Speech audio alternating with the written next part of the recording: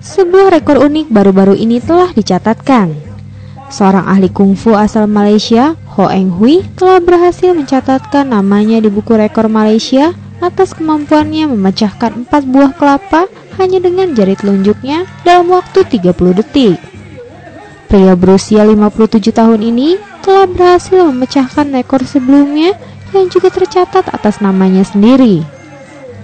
Ho berharap pertunjukannya kali ini dapat mengantarkannya untuk tercatat dalam Guinness Book of Record. Reuters Detik TV